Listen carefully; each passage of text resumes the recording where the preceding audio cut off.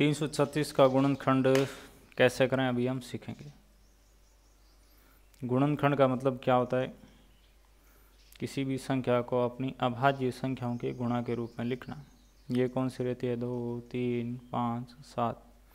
एक से लेकर दस तक की अभाज्य संख्या है। सर्वप्रथम जैसे हम दो से भाग करते हैं तो तीन सौ छत्तीस भाग, दो भाग गया एक बार छः बार और आठ बार।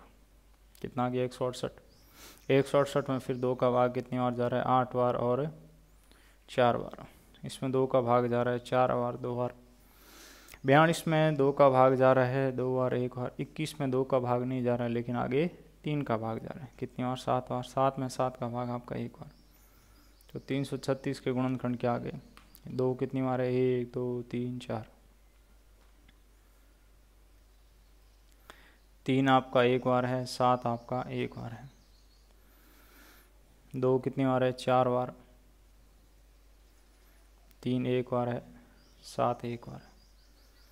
तो इसको इस प्रकार से हम घातांक के रूप में भी लिख सकते हैं। आसान है। सुरेंद्र खिलरे यूट्यूब पर सर्च करें।